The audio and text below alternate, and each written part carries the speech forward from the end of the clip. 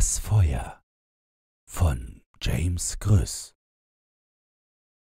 Hörst du, wie die Flammen flüstern, knicken, knacken, krachen, knistern, wie das Feuer rauscht und saust, brodelt, brutzelt, brennt und braust. Siehst du, wie die Flammen lecken, züngeln und die Zunge blecken, wie das Feuer tanzt und zuckt, trockne Hölzer schlingt und schluckt. Riechst du, wie die Flammen rauchen, brenzlig, brutzlig, brandig schmauchen, wie das Feuer rot und schwarz duftet, schmeckt nach Pech und Harz.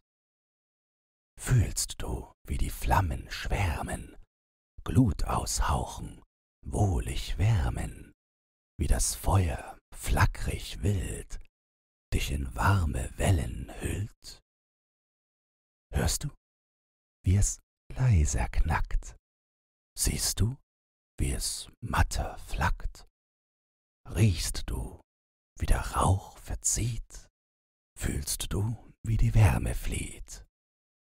Kleiner wird der Feuerbraus, letztes Knistern, ein feines Flüstern, ein schwaches Züngeln, ein dünnes Ringeln. Aus.